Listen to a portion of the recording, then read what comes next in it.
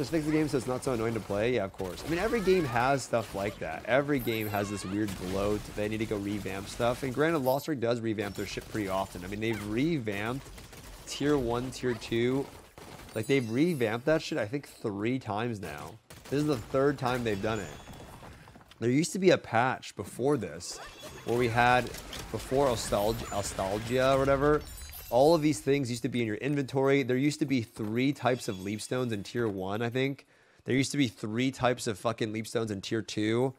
There used to be like th three of everything. And then they changed it. And then they revamped it again just now, right? They revamped it a lot.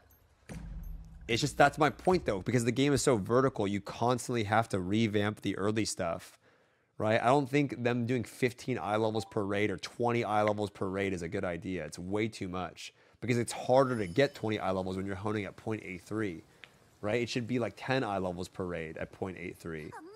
It's they, they're, they're, they're going too steep with it and then trying to solve new player issues, but innately a new player issue is just falling behind.